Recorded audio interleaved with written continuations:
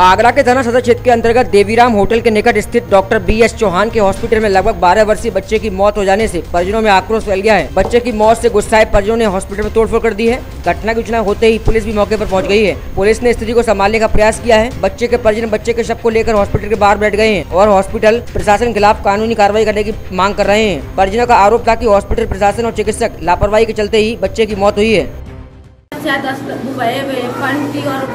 चक्कर आ रहे ये बच्चा चक्कर और पंटी आ रहे मैंने ये भाई बच्चा, सही हो।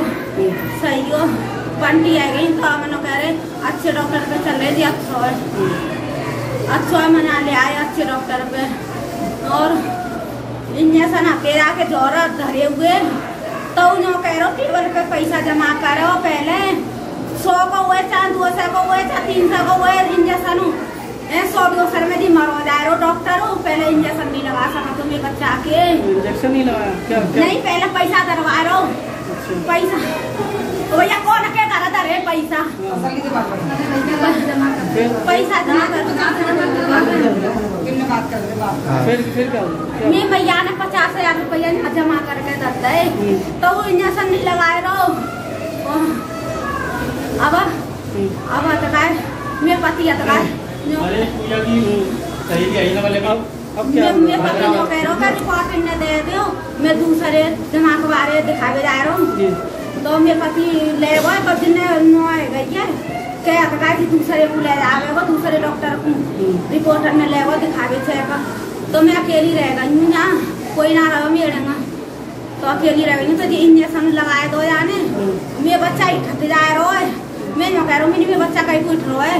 एक ज़ोर कर रहा इंजेक्शन इंजेक्शन छड़ रहा बाप है और फिर तो इंजेक्शन इंजेक्शन को बते जा रहा बाप में मेरे बच्चा में कोई खत्म हो गया हाँ, जागत मैं जग मैं जगा रही हूँ बच्चा अपन ये तो आतना लगा दे रहा हूँ मैं बच्चा ते जो कह रहा है ये वो इंजेक्शन का असर होने दो और जब खच बोलो मत बाते मैं बच्चा जो करके आँख नहीं जो करते जा रहा है बोलते जा रहा है और मतलब इंजेक्शन लगाने के बाद तबीयत बिगड़ी हाँ चौहान उनके के आठ दस साल का बच्चा एक आया कल और काफ़ी सीरियस था उसको ब्रेन का बुखार था इंसेफ्लाइटिस बोलते हैं और उसमें प्रोग्नोसिस एट्टी परसेंट खराब होती है बीस परसेंट बचते हैं अस्सी परसेंट नहीं बचते हैं।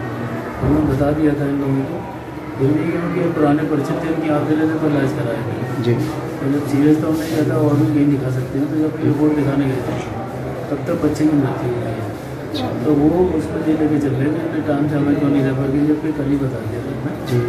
और और दूसरी ये बीमारी खराब है चाहे आप इलाज कर रहे हो नहीं कर रहे हो उसके बावजूद ये बड़ा खतरनाक बीमारी होती है तो इसमें कहीं भी कहीं भी नुकसान आप आई से पदाधिकारी हैं तो इसमें डॉक्टर की लापरवाही है कि ये इंसिडेंटली हुआ है इंसिडेंटली हुआ दूसरा दूसरा हम लोगों का जो वो रहता है स्टैंड का ईमानदारी का पोस्टमार्टम को सबसे कुछ के लिए जी जी अच्छा जो तोड़फोड़ हुई है यहाँ पर हाँ वो एकदम बिल्कुल हुई है तो दूसरा आक्रोश हो रहा है इसका बच्चा जाता है उसका